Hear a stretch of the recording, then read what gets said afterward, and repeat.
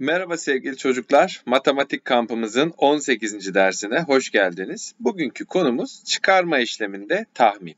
Geçtiğimiz derslerde toplama işleminde tahmin konusunu görmüştük. Orada en yakın onluğa ve en yakın yüzlüğe yuvarlayarak bu tahmin işlemlerini yaptığımızı biliyorduk. Burada da yine aynı işlemleri göreceğiz çocuklar. Bir çıkarma işleminde tahmin yaparken sayıyı en yakın onluğa ya da bizden yüzlüğe istiyorsa en yakın yüzlüğe yuvarlayarak yapacağız. Burada en yakın onluğa yuvarlayarak işlemleri yapalım diyor. Gerçek sonucunu önce bir bulalım. 7'den 3 çıktı 4, 8'den 3 çıktı 5, 6'dan 1 çıktı 5. Gerçek sonucumuz 554'müş. Ama en yakın onluğa yuvarlayalım diyor.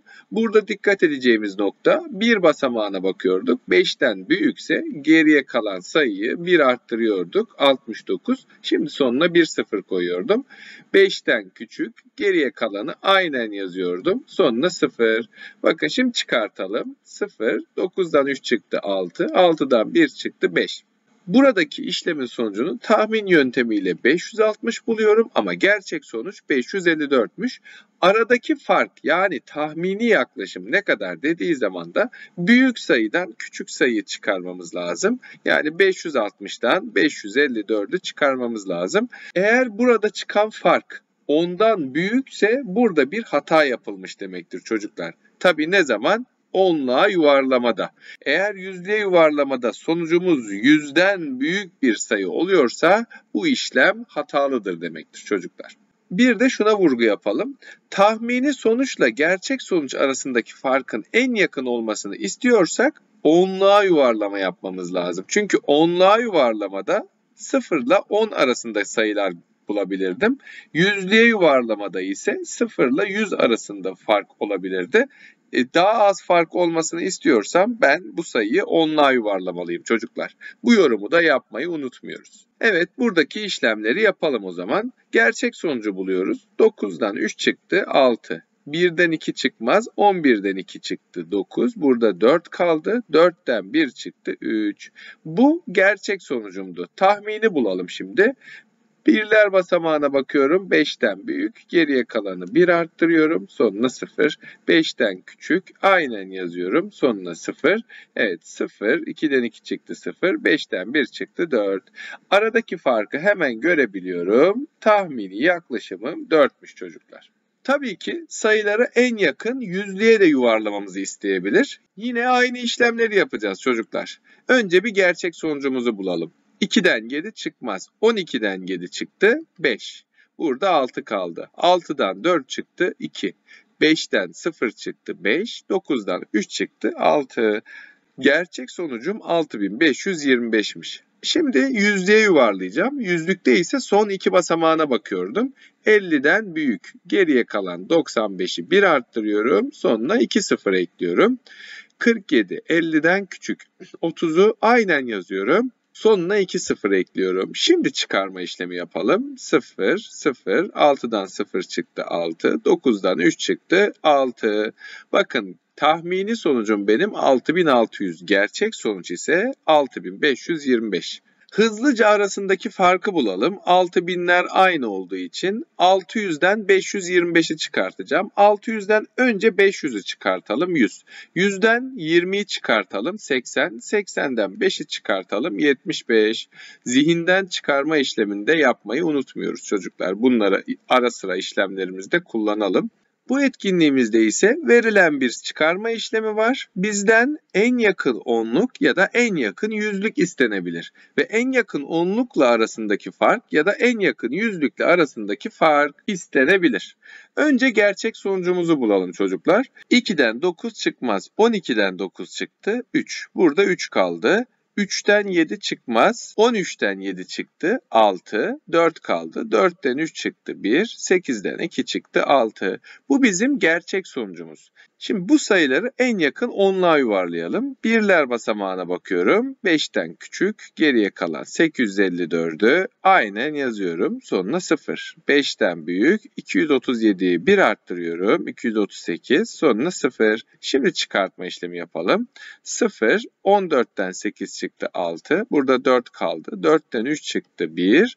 8'den 2 çıktı 6.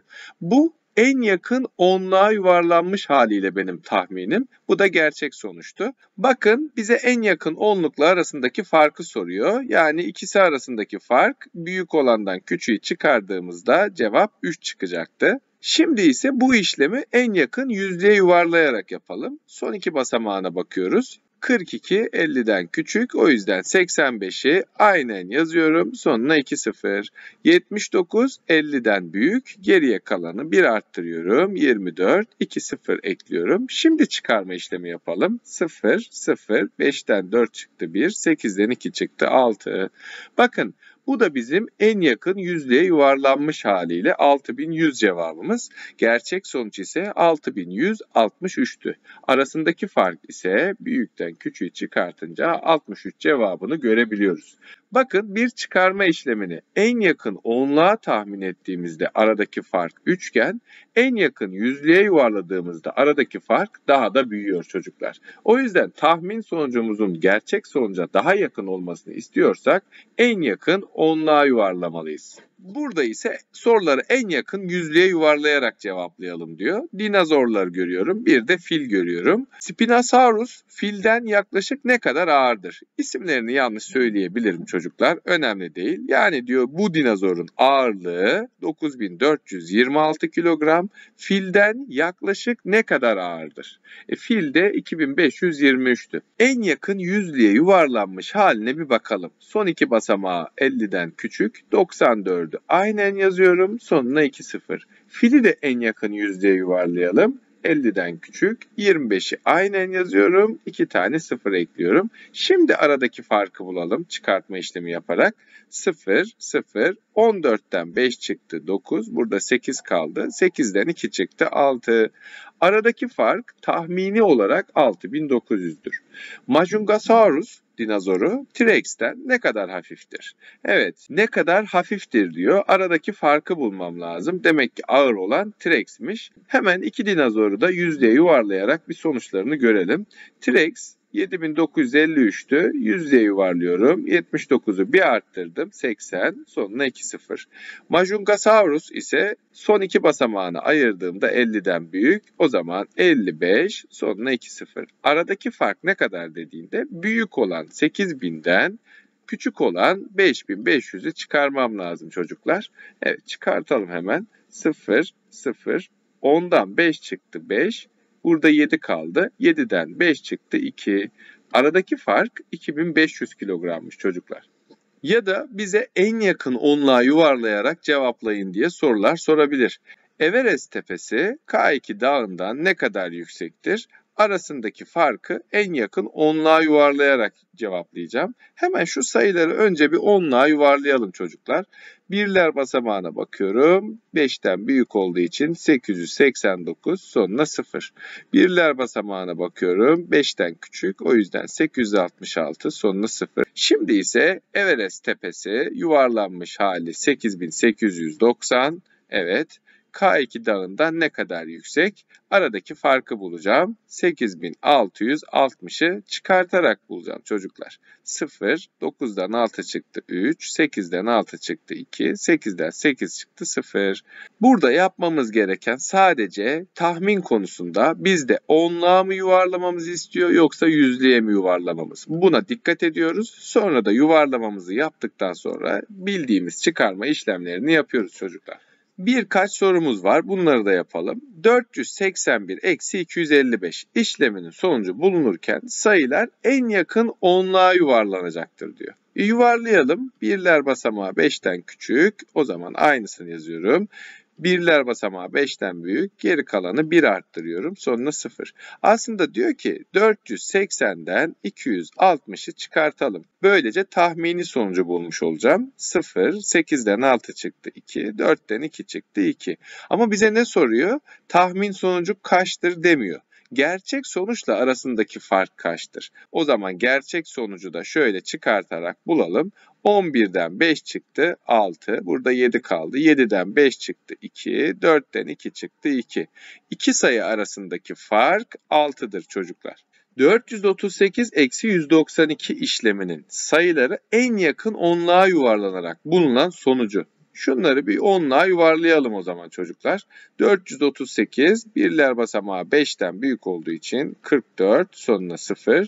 Diğeri 5'ten küçük 19'u aynen yazıyorum sonuna 0. Çıkartalım 0 14'ten 9 çıktı 5 burada 3 kaldı. 3'ten 1 çıktı 2.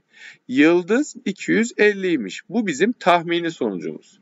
En yakın yüzdeye yuvarlanarak bulunan sonuç da kutuymuş. E yüzdeye de yuvarlayalım. Son iki basamağına bakıyorum. 50'den küçük. Küçük olduğu için 4'ü aynen yazıyorum. Sonuna 2 0. 92 50'den büyük olduğu için 1'i bir arttırıyorum 2 sonuna 2 0. Şimdi çıkartalım 0 0 2. Bu ise 200'müş çocuklar etkinliklerimizde verilen çıkarma işlemlerini yapabiliyorduk. Bunları tahmin etmemiz istendiğinde onluğa ya da yüzlüğe yuvarlayarak işlemleri yapıyorduk. Bu işlemin sonucunu tahmin etmemiz istendiğinde sayıları onluğa ya da yüzlüğe yuvarlayıp öyle sonuçları buluyorduk çocuklar. Tabii ki burada çıkarma işleminden önce onluğa ve yüzlüğe hızlı bir şekilde yuvarlayabilmemiz gerekiyor. Bu konuyu iyi öğrenmiş olmamız gerekiyor. Bir de şu iki noktaya değinmiştim çocuklar. Eğer onluğa yuvarlıyorsak gerçek sonuçla arasındaki fark onu geçemez. Eğer yüzlüğe yuvarlıyorsak gerçek sonuçla arasındaki fark yüzü geçemez. Eğer geçiyorsa işleminizde bir hata vardır. Bir de tahminlerimizin gerçek sonuca daha yakın olmasını istiyorsak sayılarımızı onluğa yuvarlamamız gerekiyor çocuklar. Evet, elinizdeki kaynaklarla da bu konuyu daha da pekiştirebilirsiniz. Bu dersimizde kullandığımız materyaller için Arı Yayınları ailesine teşekkür ediyorum ve bir sonraki dersimizde görüşmek üzere diyorum çocuklar. Sevgiyle kalın.